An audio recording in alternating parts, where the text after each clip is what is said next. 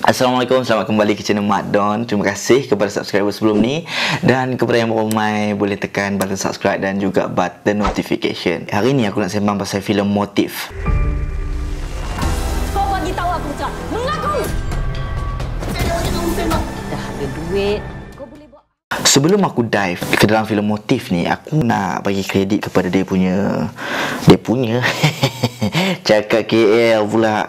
Dia punya Dia punya director. Eh sebelum tu Ni filem pertama dia. Sebab sebelum ni director ni dia buat uh, Iklan dan juga uh, Muzik video Serta short film. Okay director yang aku sebut ni adalah Nadia Hamzah. Dia pernah jadi copywriter dekat McCann Erickson. Dia graduate MFA Film dan TV And salah seorang dia punya tenaga pengajar adalah Spike Lee. Spike Lee ni adalah seorang filmmaker yang notable dekat luar negara tu. Dia pernah buat filem Malcolm X Black Klansman The latest news tentang Nadia Hamzah ni adalah dia menang uh, bronze medal dekat Cannes Lion 2019 dekat France untuk iklan dia bertajuk Voice of the Children. Antara komersial yang dia pernah buat aku rasa hampa pernah tengok Aziata Project 8 untuk Aidilfitri dan juga short film dia yang aku pernah tonton adalah Hujan Panas lakonan Beto. Now let's dive in dekat dia punya feature film ni. Thank you!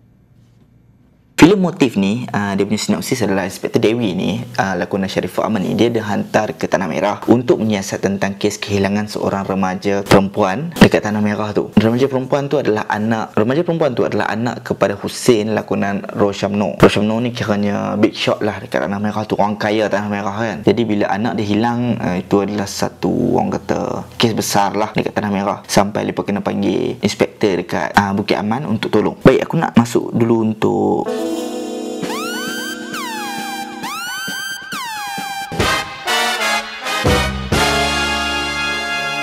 Baiklah aku nak cakap pasal build up. Build up dia tak, tak ambil masa lama pun. Dia macam terus snap snap snap Terus masuk. Starting dia dengan remaja perempuan tu Dekat sebuah banglo lama. And dia dipukul Terus hilang macam tu. And look at the details tau. Phone dia ring And ada trinket tu. Itu dekat hujung sekali Dia akan revealkan Salah seorang orang yang komplot dalam The whole agenda ni lah ya kan. Selain dia build up dia yang tak lama Karakter-karakter yang dia tak ambil masa yang lama Untuk kita tahu tentang perangai karakter-karakter tu. Satu sebab karakter, sebab scene tu sendiri Yang ditulis dengan cemerlang. Dua, sebab lakonan mereka sendiri. Aku bagi contoh yang pertama Sharifah Hamani. Sharifah Hamani ni Yang menunjukkan dia ni adalah seorang yang committed. Dia dah drive sampai ke Tanah Merah Lewat malam. Tanpa buang masa Dia mandi Dia pergi makan Tapi dia bukan pergi makan saja Dia terus mulakan dia punya siasatan. Nampak tak dekat situ? Dia tak buang masa. Seorang yang committed Selain tu karakter Roshamno. Roshamno ni Bila scene dia reveal tu Dekat situ Dia nampakkan yang dia tu Adalah seorang yang Orang kata Dominate. Seorang yang Ada ego dia. Dan bila dia bersembang Dengan Sharifah Amani For first time Dia ada reveal yang Dia seorang yang gatai. Seorang yang ego.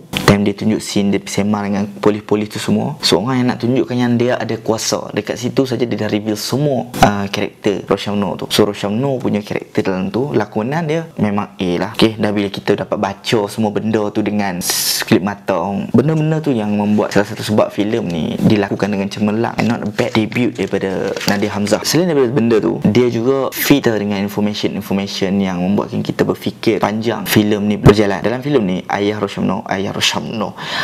Roshamno suspect and then bekas boyfriend dia suspect. Okay, dua ni sahaja yang dia fit kita information in the end dia reveal something else. Walaupun dia walaupun dia reveal something else tu dekat belakang dia tak ada lah dia tak bagi hint-hint dekat depan tau. Sebab kalau kalau dia, dia buat benda tu dia tak buat benda tu dia tak swap benda tu awal-awal in the end dia reveal kata kawan ni yang buat. Dia jadi macam tak berapa sedap lah tak berapa enak. Sebab tu dialog-dialog yang disampaikan oleh isteri muda Roshamno dan juga dialog-dialog yang disampaikan oleh seorang lagi mamat yang last kali revealnya dia tu adalah pembunuh. Semua tu hampa kena pay attention sebab semua tu leads to the final act nanti. Subtext dia adalah tentang poligami. So kenapa aku cakap uh, subtext dia poligami? Director dah bagi hint pasal subtext ni dekat awal filem ni lagi. Bila Sharifah Amani tengah drive nak pergi ke Tanah Merah hampa boleh dengar uh, siaran radio dia tu tengah membincangkan pasal foli foli lagi pasal poligami. Tapi dalam radio tu dia tak ada jawapan yang sahih kenapa lelaki sekarang ni poligami. Dia macam tak ada justification tau. Sebab ayat dalam radio tu adalah poligami ni Islam yang suruh. Jadi bila Islam yang suruh adalah baik dia tu. Itu something yang aku pun tak tahulah kan? Tapi apa yang aku tahu adalah uh, poligami ni. Okey kalau hampa nak cakap pasal poligami ni sunnah nabi memang betul. Poligami ni sunnah nabi. Tapi hampa kena tengok ke dalam lagi. Nabi berkahwin dengan janda yang anak empat. Nabi berkahwin dengan seorang wanita yang suami dia mati syahid yang memerlukan lah yang wanita yang ditinggalkan anaknya dengan begitu ramai. So ada sebab-sebab dia. Nabi kahwin sampai empat. While most lelaki le ni Lepas kahwin empat Sebab dia ingat dia ada duit Dia ada kuasa Pangkat. So Dia ingat dia boleh kahwin banyak. Ah. Tapi in the end Tanggungjawab dia diabaikan Dan wanita yang sakit. So hampa kena tanya balik Sama ada hampa kahwin empat ni Sebab sunnah Nabi Ataupun sebab nafsu hampa? Okay Dan yang paling penting Dalam filem ni Kenapa aku cakap subtext dia adalah poligami bila semua ni berakhir Hampa akan terfikir yang Kalau Roshamno Which is watak Roshamno dalam cerita ni Tak menjanjikan bulan dan bintang Dekat isteri muda dia Mesti semua perkara ni tak jadi Kalau Roshamno Tak kahwin dua lah senang. Mesti semua benda ni dapat dielakkan. Anak dia mungkin tak terbunuh Dia pun tak habis duit Apa semua rumah tangga dia pun Masih lagi elok. So tu something left to ponder lah In the end of the film So itu saja aku punya review. So terima kasih kerana menonton. Uh, jangan lupa tekan button subscribe kalau benda ni informatif, boleh share. Dan aku nak ucap tahniah kepada Nadia Hamzah kerana memilih cast yang remarkable lah. Hampa boleh follow aku dekat social media ni kalau hampa ada cadangan ke apa ke semua untuk apa benda lagi aku nak cakapkan. Boleh usulkan dekat situ. Terima kasih kerana menonton. Kita jumpa lagi untuk next film, next film ataupun next next vlog aku lah nanti. Okay, thank you. Bye bye.